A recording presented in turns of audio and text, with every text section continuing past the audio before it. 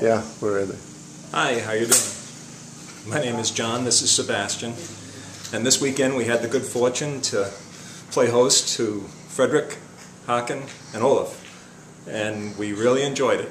And we hope that they have a safe journey and uh, arrive at their destination well in time to get to see some of San Francisco and enjoy the area.